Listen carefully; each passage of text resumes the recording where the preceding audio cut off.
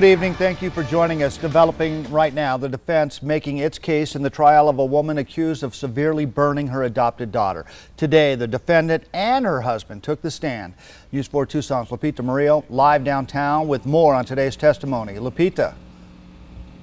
John, I can tell you that court's been adjourned until tomorrow, and the defense did call four witnesses. And as you just mentioned, this included Samantha, extremely emotional. Her body was, her body was so burned that, um, What did you do about the tub and the water?